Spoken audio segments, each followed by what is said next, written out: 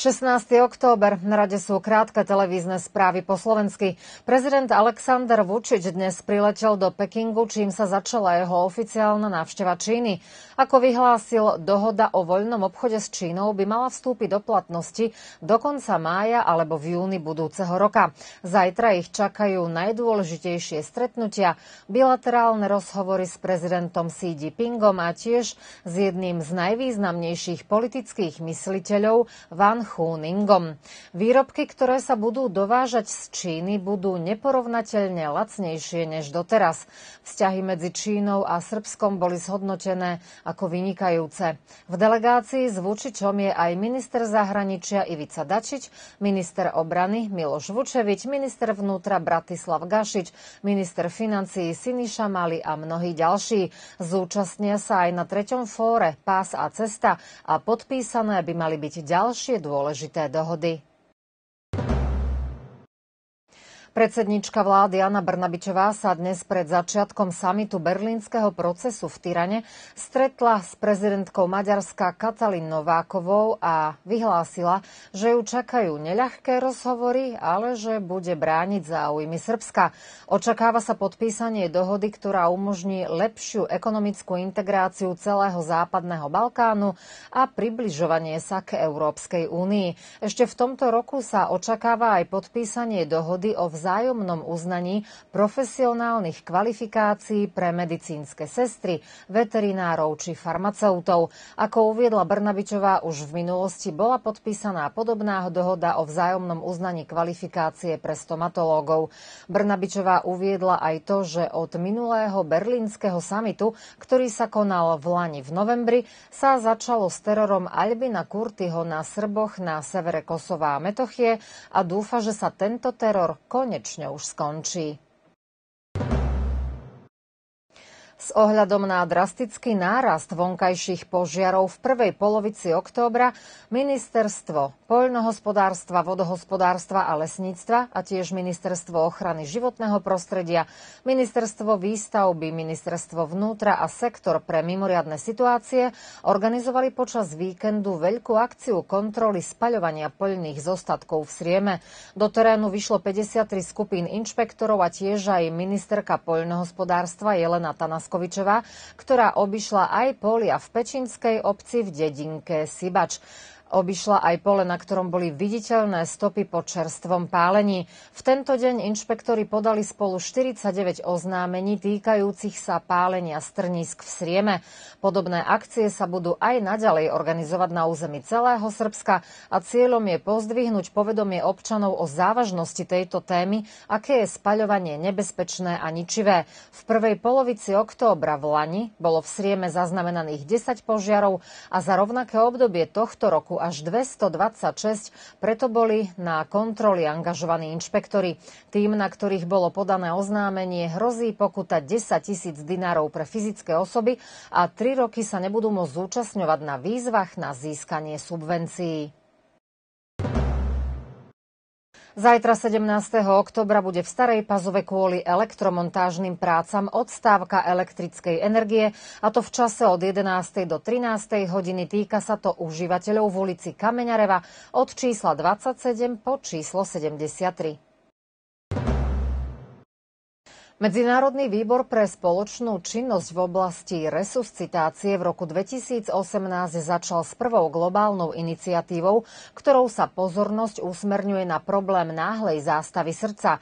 Odvtedy sa každý rok práve na dnešný deň 16. októbra zaznamenáva Svetový deň resuscitácie s cieľom, aby sa pozdvihlo povedomie o význame edukácie občanov a aby sa verejnosť oboznámila s technikami, ako pomôcť pri záchrane života. Červený kríž Stará Pazova pri tej príležitosti zaznamenal tento deň s gymnazistami zo 4. ročníka. Prednášku viedla licencovaná učiteľka prvej pomoci a zdravotná pracovníčka Mica Miladinovičová. Žiaci sa oboznámili s detailami, ako môžu oživiť človeka, či už dospelého alebo dieťa, keď nastane prípad zástavy srdca. Detský festival Minitiny Fest sa v Starej Pazove konal v sobotu už po 21. krát. Hľadisko bolo plné do posledného miesta. Publiku sa predstavilo 10 spevákov v kategórii mini a 9 v tiny kategórii, no na javisku spievalo a tancovalo spolu 380 účastníkov. Porota pracovala v zložení umelecký riaditeľ festivalu Jovan Adamov, skladateľ Lado Leš a hudobník Jan Čemerský. Tí rozhodli, že prvé miesto v kategórii mini získa Jovana Volarevičová z Belegiša, ktorá zaspievala Dosta Mies Vega. V tiny kategórii najlepšou speváčkou bola Lenka Biočaninová z Novej Pazovy, ktorá si vybrala skladbu Úvek, Kat nebo pogledam. Novinkou bolo udelenie špeciálnej Grand Prix ceny Miňa Subotu a túto cenu získala Anastásia Mozetičová zo Starej Pazovy, ktorá zaspievala Život je ako klavír. Program moderoval Branimír Rosič, ktorý je pre deti známy pod prezývkou Leteča gitara. Organizátorom festivalu bolo Stredisko kultúry Stará Pazova a generálnym zastrešovateľom obec Stará Pazova. Členovia Slovenského divadla VHV zo Starej Pazovy včera večer zahrali predstavenie Miloša Nikoliča Kováči v réžii Alexandra Baka, a to v Malom Crniči na festivale divadelných ochotníkov dedín Srbska. Na 52. ročníku festivalu Fedras, ktorý sa začal v sobotu 14. októbra, v tomto roku účinkuje 8 predstavení a všetky hodnotí odborná porota v zložení režisér Vladimír Putnik, divadelná umelkyňa Monika Romičová a divadelná divadelný umelec Milorad Damianovič, všetci traja z Belehradu. Hodnotila aj porota obecenstva, ktorá rozhoduje o odmenách za herecké výkony a podľa jej ocenenia najlepším hercom v pazovskom súbore sa včera stal Janko Šarkézy, ktorý stvárňuje postavu Petra Nemca. Festival v Malom Crniči sa končí v sobotu 22. októbra. Z oblastnej prehliadky výtvarnej tvorby pre Sriem, ktorá sa koncom minulého týždňa konala v Indii, na pokrajinskú úroveň sa zo Staropazovskej obce dostalo 13 umelcov, členov Združenia výtvarných umelcov Stará Pazova a umeleckého spolku Nová Pazova. Prezent, prezentovať sa budú s 11 obrazmi a dvoma sochami. Selektorom bol výtvarný kritik Mile Igňatovič. Pokrajinská prehliadka sa bude konať v Novom Bečeji. Volejbalový klub Jednota Stará Pazova zvíťazil aj v druhom kole Banka Poštanská Šterionica Superligy Srbska. Staropazovčanky v sobotu v Sriemskej Mitrovici boli lepšie a úspešnejšie než súperky domáce hráčky z klubu Srem. Výsledok 3-1 v prospech Starej Pazovy po setoch 26-16, 26-24, 24-26 a 25-19. V treťom kole sa Staropazovčanky v hale jednoty v Starej Pazove stretnú so súperkami z klubu Klek zo Zrenanina, ktoré v minulom minulom kole boli lepšie než Omladinac z Nových Bánoviec. Zápas je na programe v sobotu 21. o 19. hodine. Volejbalisti muži z klubu Jednota Stará Pazova v tejto sezóne tiež súťažia v Banka Poštanská Šterionica Superligy Srbska. V prvom kole prehrali s aktuálnym šampiónom Vojvodinou v Novom Sade. Výsledok bol 0-3. V druhom kole sa im tiež nepodarilo zvíťaziť a prehrali s klubom Karaďorde zo Zemunu 1-3. V treťom kole si sily zmerajú ako hostia v Požarevci, kde ich privítajú hráči z klubu Mladý Radnik. Hádzanárky mladosti z Novej Pazovy odohrali doteraz 4 kolá v rámci Superligy v hádzanej. Novopazovčanky majú na konte 3 víťazstva a len jednu prehru a aktuálne im patrí štvrté miesto v tabuľke.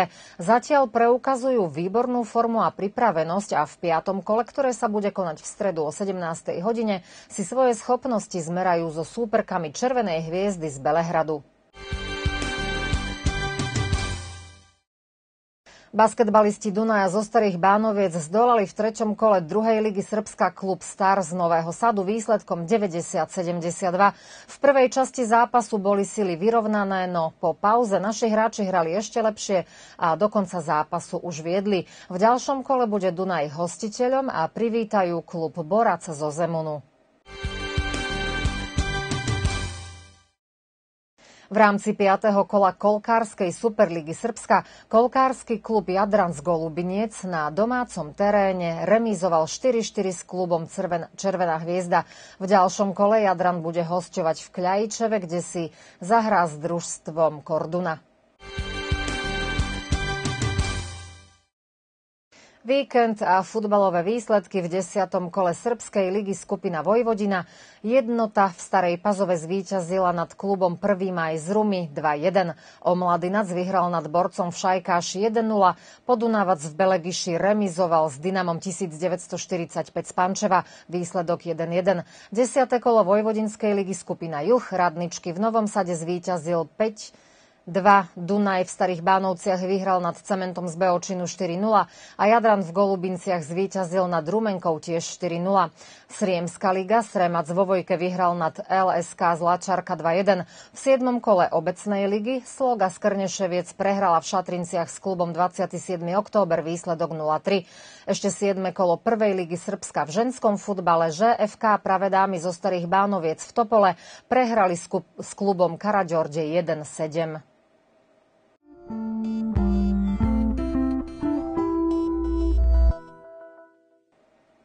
Pri pohľade na zajtrajšiu najnižšiu teplotu nás možno už aj trochu zamrazí, bude len 2 stupienky nad nulou. Cez deň sa však oteplí na maximálnych 16, no v následujúcich dňoch by malo byť ešte krajšie. Zajtra oblačno po celý deň, bez slnka, ale aj bez dažďa malo by byť sucho a mierny vietor pocítime zo severovýchodnej strany. Na záver ešte 4 mená, dve na dnes, Gál a Vladimíra, dve na zajtra, Božej a Ignác. To sú meninoví oslávenci a tí dali aj bodku za pondelkovými správami. Dovidenia zajtra.